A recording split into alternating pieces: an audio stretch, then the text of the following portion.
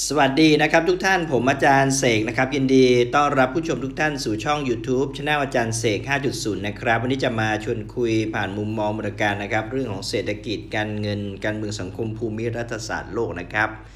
ความพลิกผันผันผวน เปลี่ยนแปลงในโลกใบนี้นะครับ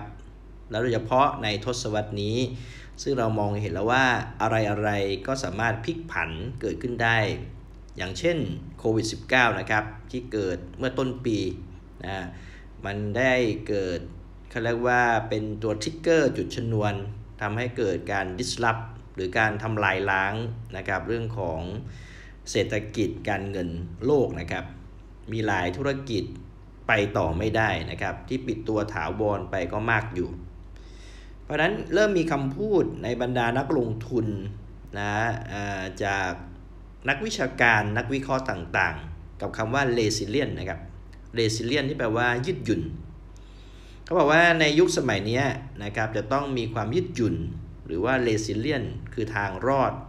คือทางที่จะปลอดภัยจะอยู่ได้นั่นเอง แต่ในช่วงอาทิตย์ที่ผ่านมานะครับ ผมก็ได้ยินนะฮะอย่างกูรูนะครับอย่างคุณไมค์มอร์นี่นะครับได้พูดคำว่า more resilient นะครับ more resilient แปลว่าอะไรก็แปลว่า มีความยืดหยุ่น มีการวางแผนที่มีความยืดหยุ่นมากขึ้น more resilient นะครับ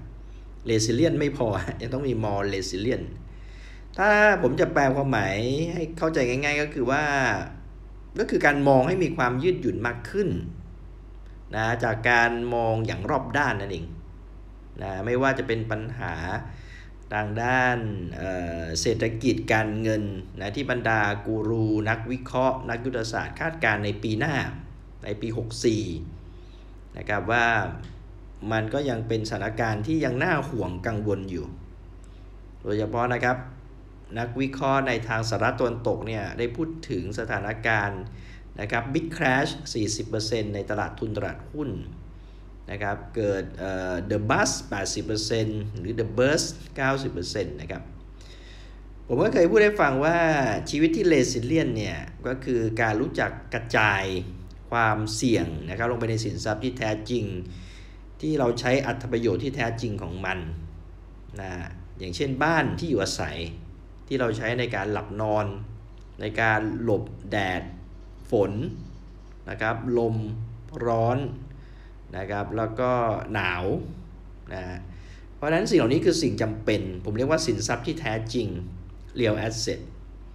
นะคือสินทรัพย์ที่เราใช้อัตประโยชน์จากมันที่แท้จริงนะอย่างบ้านที่อยู่อาศัยปัจจัย 4 ปัจจัย 4 หนึ่งในนั้นก็คือเรื่องอาหารการกินนะครับ เป็นเรื่องใหญ่ของมนุษย์นะ เพราะว่าอะไรครับ เพราะว่าคนเรานี่ต้องกินอาหาร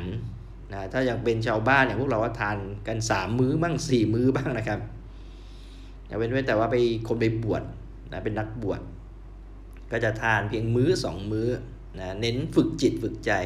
แต่ถ้าเป็นชาวบ้านทั่วๆไปนะครับนะเป็นเด็กๆเยาวชนเนี่ยต้องทานอาหารกัน 3 มื้อทีเดียว เพราะนั้นสิ่งนี้แล้วปัจจัย 4 เป็นความจำเป็นครับ ที่ผมบอกให้กระจายความเสี่ยงไว้ในสินทรัพย์ที่แท้จริง แล้วโดยยุคสมัยใหม่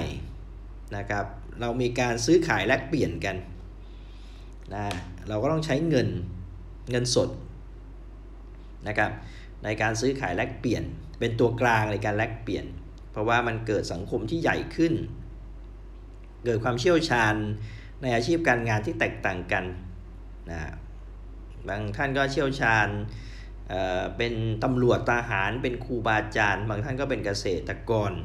นะครับก็มีการแลกเปลี่ยนกันใช้เงินเป็นสื่อกลางก็มีความจำเป็นสำคัญ ถือว่าเป็นหนึ่งในสินทรัพย์ที่แท้จริงนะในการใช้อัตประโยชน์ในการแลกเปลี่ยนนะครับ คือเงินสดเงินกระดาษนั่นแหละครับนะส่วนทองคำก็มีอัตประโยชน์ในการที่มันเก็บรักษานะครับความมั่งคั่งของเรา มันสามารถจะปกป้องนะความมั่งคั่งของเรา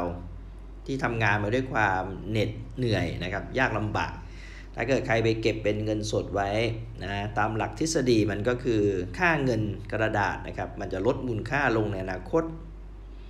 เกิดมาจากการพิมพ์เงินนั่นเอง หรือเราเรียกว่าเงินเฟ้อนั่นเองนะซึ่งมันจะมีมากมีน้อย แต่มันทำให้ค่าเงินกระดาษเนี่ยลดมูลค่าลง เราเลยต้องใช้ตัวที่ storage well preserve well นั่นคือทองคำนะครับและยุคสมัยใหม่ก็มาถึง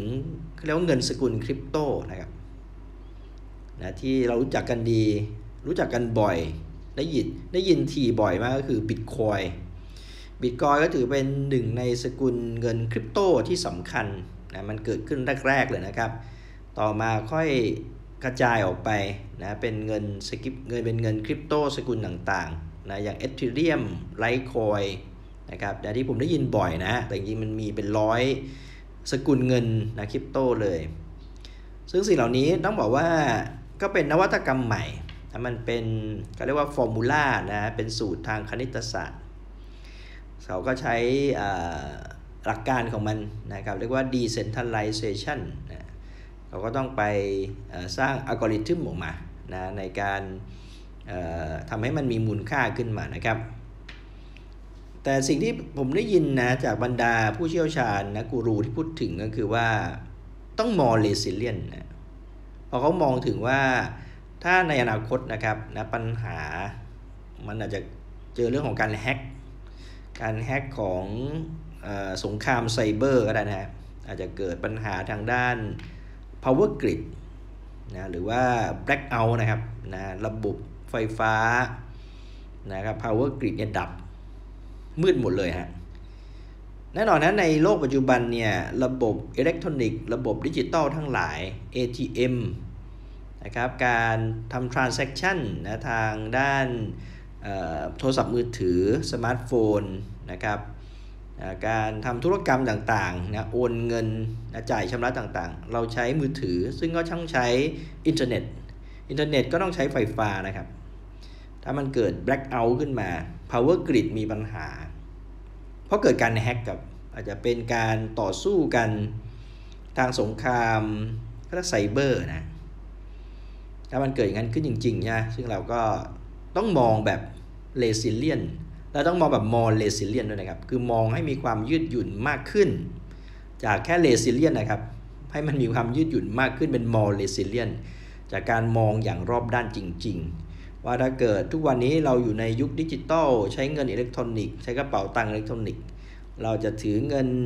นะครับอยู่ในธนาคาร แต่ว่ามันเป็นในรูปของอิเล็กทรอนิกส์มีการทำ transaction ผ่านระบบอินเทอร์เน็ต ซึ่งต้องใช้ไฟฟ้านะครับ แล้วถ้า power grid มีปัญหา ระบบไฟฟ้าดับไปเป็นหลายวันหรือเป็นอาทิตย์อย่างเงี้ย เราจะทำการซื้อขายแลกเปลี่ยนกันอย่างไร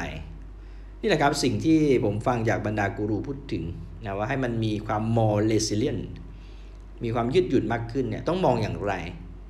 ซึ่งผมก็เป็นคนแบบนั้นกันนะครับ คือผมเป็นคนที่ชอบคิดชอบมองอะไร ด้วยความไม่ประมาทนะเพื่อจะมีความยืดหยุ่น เพราะนั้นจึงแนะนำว่านอกจากท่านจะเก็บเงินนะครับเก็บสิ่งต่างๆ อยู่ในรูปของอิเล็กทรอนิกส์นะอยู่ในรูปของที่มันจับต้องไม่ได้นะเราก็ต้องมา แบ่งในการกระจายการเก็บเป็นสิ่งที่มันจับต้องได้ ซึ่งผมเรียกว่า physical asset เช่นถ้าเกิดว่าเป็นเงินนะครับที่อยู่ในระบบการเงินธนาคารนะครับสถาบันการเงินเนี่ยมันก็ต้องแบ่งออกมาส่วนหนึ่งนะครับ ที่เป็นเงินกระดาษจริง ๆ ที่จับต้องได้นะครับ ไม่ใช่เงินที่อยู่ในบัญชีเฉยๆ อยู่ในระบบอิเล็กทรอนิกส์เฉยๆ หรือว่าทองคำที่ซื้อขายกันบางบางท่านนะซื้อขายกัน ไม่อยากเก็บของจริงฮะเก็บเฉพาะใบ certificate หรือเก็บเฉพาะไอตัวที่มันสามารถทำ transaction นะผ่านระบบมือถืออิเล็กทรอนิกส์ได้นะครับเพราะนั้นเราต้องมองเผื่ออย่างนี้ด้วย รวมถึงผู้ที่ลงทุนเกี่ยวกับเรื่องของที่ดินเพาะปลูกใช่ไหมฮะซึ่งมันต้องใช้ระบบ power grid ระบบไฟฟ้าเนี่ยถ้ามันเกิดไฟดับ นะเกิด blackout จริงๆเนี่ยก็ต้องมองเผื่อถึงเรื่องของไฟฟ้าอิสระเหมือนกันนะครับเขาเรียกว่าระบบโซล่าเซลล์นะครับระบบเซลล์สุริยะนะแผงโซล่าเซลล์นั่นเองนะเพราะว่าบางท่านเนี่ยจะไปทำพื้นที่เกษตรอะไรประมาณนี้ สิ่งเหล่านี้ผมฟังมาจากบรรดานักวิเคราะห์กูรู เขาพูดถึง more resilient ก็ทำให้ผมฉุกคิดว่า ก็เป็นสิ่งหนึ่งที่เราควรจะมอง แต่ไม่ใช่เป็นสิ่งที่เราจะต้องไปตื่นตระหนก คือการมองทางหนีทีไล่เนี่ยไม่ใช่เรื่องผิดนะครับแต่ต้องดูจังหวะเวลาเหมือนกัน ว่าเราจะลงทุนต่างๆไอ้ที่มอเลสิเลียนเนี่ยอย่างเช่นแผงโซลาเซลล์นะระบบที่แยกจากระบบไฟฟ้าเนี่ยนะครับนะเราจะทำได้มากน้อยแค่ไหน เหมือนบางท่านเนี่ยนะมองเรื่องของที่ดินพ่อปลูกเนี่ยนะบางท่านก็ไปเร่ง สร้างนะครับ เราต้องดูแผนจังหวะเวลานะครับ ว่ามันถึงเวลาต้องเร่งสร้างแล้วหรือยัง หรือว่ายังมีเวลาอยู่ เพราะว่าการลงทุนทั้งหลายมันมีต้นทุนกับมันอยู่ ถ้าเราลงทุนไปแล้วเนี่ยเราต้องเข้าใจว่าเราลงทุนไปเพื่ออะไร เป้าหมายของเราคืออะไรนะครับถ้าเราลงทุนสเปซสปะไปหมดเลยนี่ปรากฏว่าเงินเราก็หมดนะครับนะเพราะนั้นนี่คือภาพที่ผมบอกว่าต้องมองภาพใหญ่ของโลกอนาคตให้เห็นก่อน นะครับเตรียมแผนใหญ่ไว้ก่อนนะเตรียมกระจายสินทรัพย์ต่าง ๆ ในสินทรัพย์ที่แท้จริงก่อน มองให้มัน resilient ก่อน หลังจากนั้นมองให้มัน more resilient คือมองให้มีความยืดหยุ่นมากขึ้นนะจากการมองอย่างรอบด้านนะได้อย่างไร ก็ปันเจาะลึกไปถึงเรื่องของนะ blackout นะไฟฟ้าดับนะเรื่องของ power grid เรื่องของระบบเน็ตล่มอย่างเงี้ยเป็นต้น เราก็ต้องกระจายสินทรัพย์นอกจากอยู่ในระบบอิเล็กทรอนิกส์แล้วใช่ไหมเราต้องจับใน physical asset สินทรัพย์ที่จับต้องได้นะครับนอกจากอยู่ใน real asset real asset คือสินทรัพย์ที่เราเอามาใช้ประโยชน์นะครับแต่เราต้องจับ physical asset ด้วย รวมถึงนะครับเราต้องทำให้มันสามารถทำงานได้ แต่สิ่งทั้งหลายทั้งปวงเราต้องมองเห็นภาพใหญ่ก่อน แล้วเราก็เตรียมแผนย่อยสำรองไว้นะครับเราต้องรู้จังหวะเวลาว่าเวลาไหนเราต้องเร่ง นะเช่นมันเกิดวิกฤตหนักขึ้นหนักขึ้นหนักขึ้นในปี 64 65 66เนี่ยเอ้ยมันจะเกิดสงครามมาหรือเปล่า จังหวะนั้นเราค่อยเร่งก็ได้ แต่ตอนนี้เรามองแผนใหญ่หาที่ทางทางหนีทีไล่ไว้ก่อนนะมีที่ดินก็จะเตรียมไว้ก่อน แต่จะยังไม่จำเป็นต้องลงทุน เตรียมที่ทางไว้ก่อนนะครับนะว่าดูที่ทางไว้ว่าจะไปที่ทางไหนนะครับ เมื่อมองภาพใหญ่เตรียมแผนใหญ่ เราจะปรับแผนย่อยตามสถานการณ์ สิ่งนี้นะครับที่ผมว่า more resilient คือมองให้มีความยืดหยุ่นมากขึ้น จากการมองอย่างรอบด้านนะครับ สิ่งนี้จึงมาแบ่งปันเล่าสู่กันฟังนะครับ แม้แต่ทางนักวิเคราะห์ในสหรัฐตะวันตกเอง เขาก็พูดถึง more resilient นะครับนะเพราะฉะนั้นผมจึงมองเห็นว่าสิ่งนี้มีประโยชน์ดี จึงมาแชร์ให้ฟังเห็นไหมครับ คนที่เขาจะอยู่รอดปลอดภัยเนี่ยเขาไม่ได้มองโลกสวย แต่เขามองโลกว่าอะไรที่มันมีศักยภาพมีโอกาสที่จะเกิด เขาก็มองเผื่อป้องกันเอาไว้ แต่ต้องรู้จักบริหารจัดการเวลาด้วยนะครับ ให้เหมาะสมนะครับ ใครชอบฝากไลค์ฝากแชร์นะครับ สนใจก็สามารถสมัครติดตามในช่อง YouTube Channel อาจารย์เสก5.0ณจุดหนึ่งนะครับ ต้องขอขอบคุณในทุกไลค์ทุกแชร์ทุกติดตาม และสมุนช่องอาจารย์เสกเสมอมานะครับ แล้วเจอกันใหม่คลิปหน้า สวัสดีครับ